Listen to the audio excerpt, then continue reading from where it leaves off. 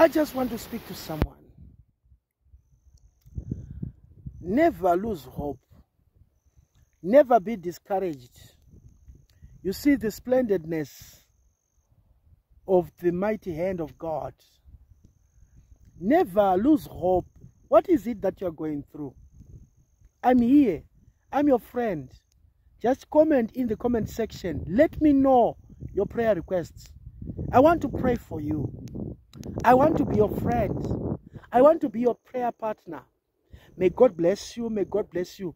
I want to assure you, whatever you are going through, is it financial constraint? Is it sickness in body?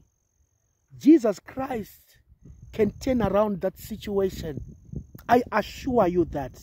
I assure you that Jesus Christ can change your situation. In Jesus' name. Subscribe, like, and comment.